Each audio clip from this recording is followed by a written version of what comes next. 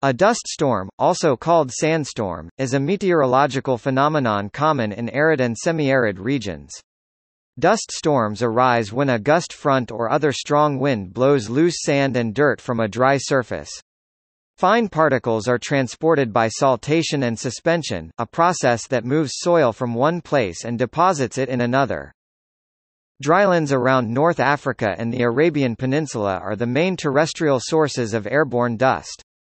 It has been argued that poor management of the Earth's drylands, such as neglecting the fallow system, are increasing dust storm size and frequency from desert margins and changing both the local and global climate, and also impacting local economies. The term sandstorm is used most often in the context of desert dust storms, especially in the Sahara Desert, or places where sand is a more prevalent soil type than dirt or rock, when, in addition to fine particles obscuring visibility, a considerable amount of larger larger sand particles are blown closer to the surface. The term dust storm is more likely to be used when finer particles are blown long distances, especially when the dust storm affects urban areas.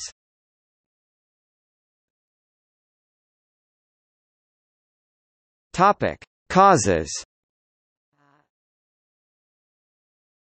As the force of wind passing over loosely held particles increases, particles of sand first start to vibrate, then to saltate leaps. As they repeatedly strike the ground, they loosen and break off smaller particles of dust which then begin to travel in suspension. At wind speeds above that which causes the smallest to suspend, there will be a population of dust grains moving by a range of mechanisms, suspension, saltation and creep. A study from 2008 finds that the initial saltation of sand particles induces a static electric field by friction. Saltating sand acquires a negative charge relative to the ground which in turn loosens more sand particles which then begin saltating.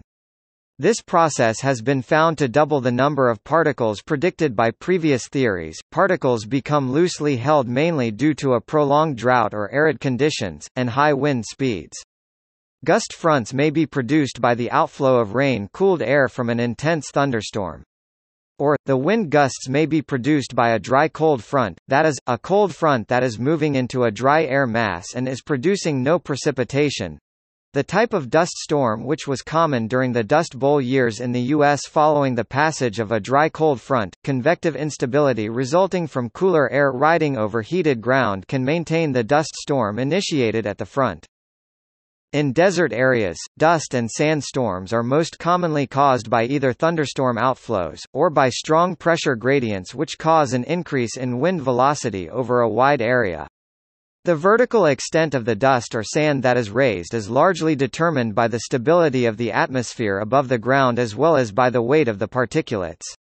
In some cases, dust and sand may be confined to a relatively shallow layer by a low-lying temperature inversion. In other instances, dust but not sand may be lifted as high as 20,000 feet 6,100 meters high. Drought and wind contribute to the emergence of dust storms, as do poor farming and grazing practices by exposing the dust and sand to the wind. One poor farming practice which contributes to dust storms is dryland farming. Particularly poor dryland farming techniques are intensive tillage or not having established crops or cover crops when storms strike at particularly vulnerable times prior to revegetation. In a semi-arid climate, these practices increase susceptibility to dust storms. However, soil conservation practices may be implemented to control wind erosion.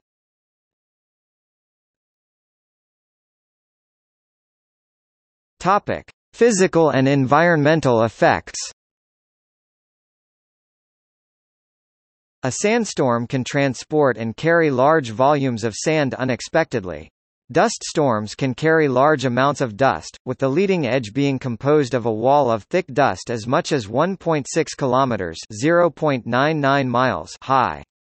Dust and sand storms which come off the Sahara Desert are locally known as a simoom or simoon Simum, Simon. The Haboob is a sandstorm prevalent in the region of Sudan around Khartoum, with occurrences being most common in the summer. The Sahara Desert is a key source of dust storms, particularly the Bodélé Depression and an area covering the confluence of Mauritania, Mali, and Algeria. Sahara dust is frequently emitted into the Mediterranean atmosphere and transported by the winds sometimes as far north as Central Europe and Great Britain. Saharan dust storms have increased approximately tenfold during the half-century since the 1950s, causing topsoil loss in Niger, Chad, northern Nigeria, and Burkina Faso.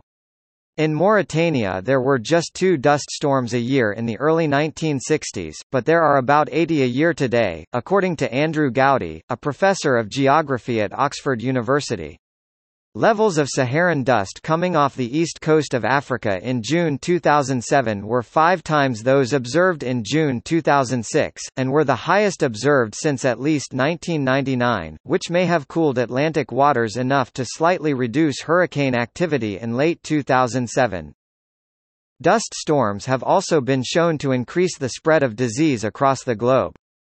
Virus spores in the ground are blown into the atmosphere by the storms with the minute particles and interact with urban air pollution. Short term effects of exposure to desert dust include immediate increased symptoms and worsening of the lung function in individuals with asthma, increased mortality and morbidity from long transported dust from both Saharan and Asian dust storms, suggesting that long transported dust storm particles adversely affects the circulatory system. Dust pneumonia is the result of large amounts of dust being inhaled.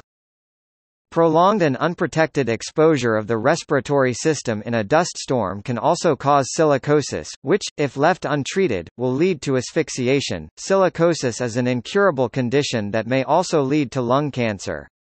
There is also the danger of keratoconjunctivitis sicca, dry eyes, which, in severe cases without immediate and proper treatment, can lead to blindness.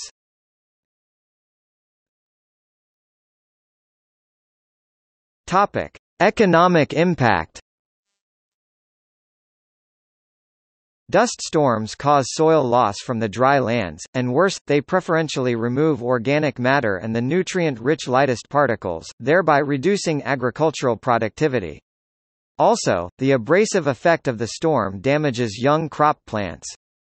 Dust storms also reduced visibility affecting aircraft and road transportation. In addition dust storms also create problems due to complications of breathing in dust. Dust can also have beneficial effects where it deposits. Central and South American rain forests get most of their mineral nutrients from the Sahara, iron-poor ocean regions get iron, and dust in Hawaii increases plantain growth.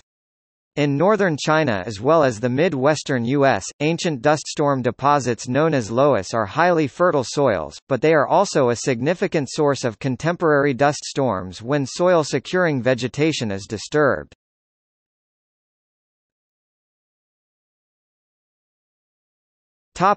Extraterrestrial dust storms.